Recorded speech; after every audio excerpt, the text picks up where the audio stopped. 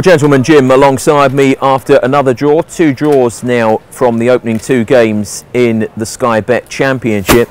But, Jim, on the balance of what we've just witnessed, that almost feels like more than a draw, doesn't it? Yeah, it does. It feels like a win, Jamie. But uh, as Tim was saying earlier when you spoke to him last week, maybe the boys thought they were a bit disappointed. They felt that uh, they should have done more than draw at home with Norwich, and uh, and at the end they felt it was maybe two points dropped. But uh, not only is this a, a, good point game, but it felt like more when you it's late on and you get the equaliser.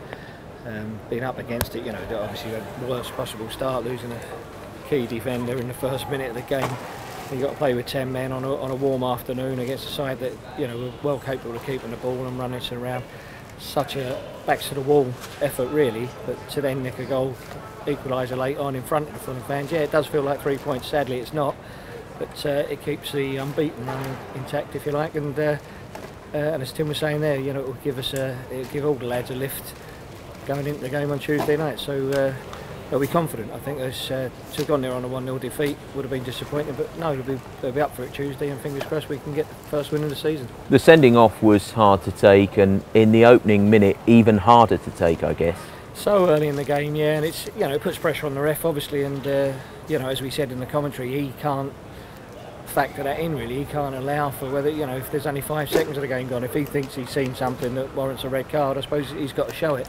Um, we never saw anything conclusive really to say for sure whether they, you know it was a goal scoring opportunity, whether uh, Tom Kalas was the last man. I, I don't think he was. I think we had players on the cover, and I think if he'd have taken his time to think about it and maybe consulted with the assistant, he might have made a different decision. But um, he was convinced, obviously, that uh, it was a you know, it was a clear foul.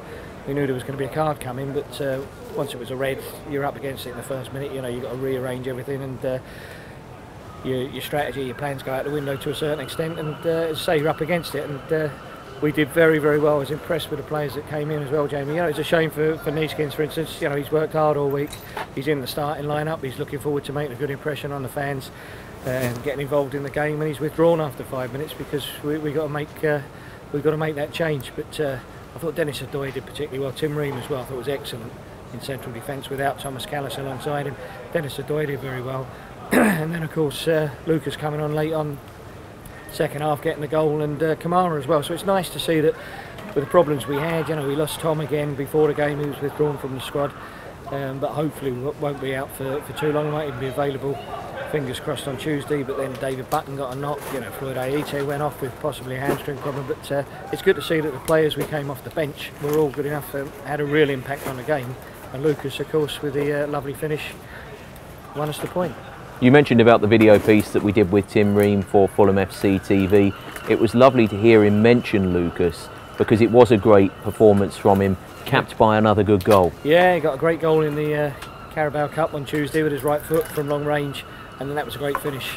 Today he put pressure, you know, he was there closing them down, waiting for a, a mistake to come, and it, thankfully it came. But he still had a lot to do. He had to poke it around the last defender. He had to keep his composure under pressure in front of the Fulham fans and, and slot it home. And uh, I think he's a very talented player, Lucas Piazon, and I think he's a, he's a much better player maybe than uh, he's given credit for. It's disappointing for him, he's, he's not always a regular starter, but as Tim said, when he comes off the bench, whether he starts or whether he comes off the bench, he has an impact and he's got the ability, James. That's the thing. We've, we've seen him score some great goals. When you, you cast your mind back to some of the goals he scored for Fulham, he's uh, he's got an awful lot of ability and it was an important goal that, and it was a great finish. And uh, well pleased for Lucas because uh, when I've seen uh, you've interviewed him a couple of times and obviously did after the Carabao Cup game. And he's a lovely kid as well. And uh, I'm pleased he wants to be at Fulham and uh, and he proved it there. And I'm well pleased for him. And uh, great finish, a great point.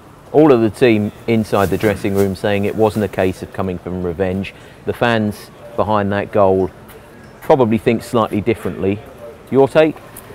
Yeah, I, I tend to, I see where they're coming from. It's a bit strong. I mean, at the end of the day, it was it was one of those things. We were the two teams that were uh, that made it through to the, the semi-final of the playoffs, and uh, one of us had to win, one of us had to lose. You know, but uh, yeah, I mean, obviously it was the, the, way they went. I felt the two goal, both goals, the goal that, that Fulham should never have, been really because it, you know we should have had a free kick, uh, and they've ended up scoring from their free kick. And then obviously with the with hindsight, with the uh, with the replays we, we had the benefit of seeing, which the referee didn't. They should have never had a penalty down here either. So yeah, and then you know the way they went about it wasn't pretty at the end of the day, they were after the same result as us. They wanted to get in the Premier League, and uh, over the course of the two games, they had to do whatever they had to do to, to win the game, and they did that. But yeah, it was nice. It would have been nice to come here and uh, and get a good win against them. But I think nicking the point late on will be. Uh, will stick in the craw. And what I have to say, to be fair, I mean they made the most obviously of the space available by, by having the extra man. Two or three of their players, I thought Swift was excellent. I thought young uh, Liam Kelly, who got the goal, was excellent. So